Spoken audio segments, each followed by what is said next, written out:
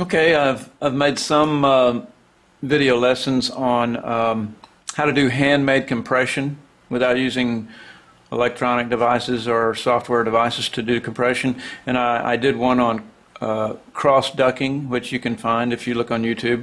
But here's one I'm going to show you how to do down and dirty, simple, uh, how to get rid of S's. Say you don't have a de-esser, and you know what I'm talking about. When you need a de-esser, uh, say you've got a vocal track. We're looking at a piece of a vocal track now, which is on Sony Acid, the low-end Sony Acid product.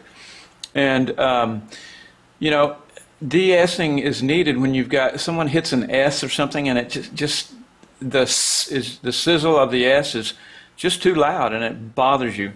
Or maybe it's causing some um, some distortion when it hits the S later on down the line. If it's already distorted on the track, then you, you may have a problem. But if it's just the S is too loud, let me show you how to do it by hand using the same tool that we've used on so many other handmade um, uh, situations here. I'm going to show you, we're going to insert on this track, let's, let's highlight the track, and then we're going to insert that good old magic thing that we use so often, the volume envelope. You see that line appear.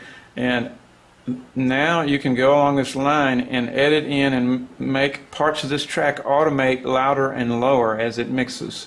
Okay, so uh, let me show you how how it sounds. You'll see an S at the end of this phrase.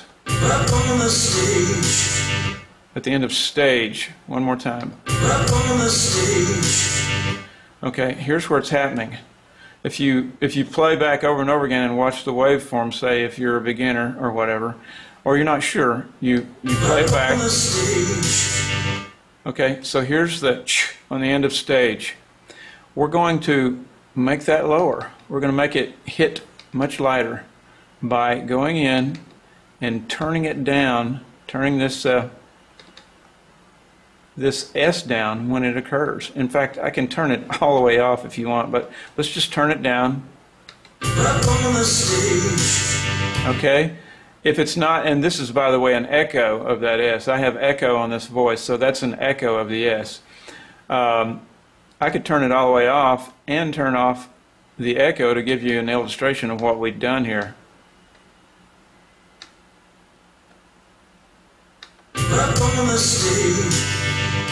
Okay, you see we totally got rid of the S's there, but you want some of it because that's part of human speech. We're going to put it back in there, and look, I can even control the echo to that S if I want, but let's put some of it back. Okay. Have fun. We've, we've now done handmade de-essing. Have fun with it.